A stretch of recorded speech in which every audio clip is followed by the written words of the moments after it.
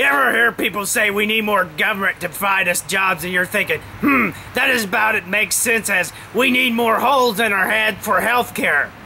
Which is probably what Obamacare is. But regardless of that fact, where in the world did it become the job of the federal government to provide jobs? First of all, our schools are not teaching what government is. Government is any governing body power, like business or church or whatever, or family.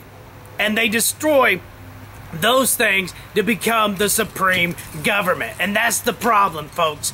Government doesn't provide jobs. If when the civil government starts providing jobs such as garbage, work, for instance, it kills private garbage workers, the competition for them. So you have less garbage workers, and so therefore you have less jobs. The same thing goes for coal. The same thing goes for any energy. It, uh, coal is a cheap source of energy for places that provide lots of coal. Why do you think federal government wants to regulate coal? Because all those lobbyists want to provide nuclear energy for you or natural gas. I got your natural gas right here, buddy.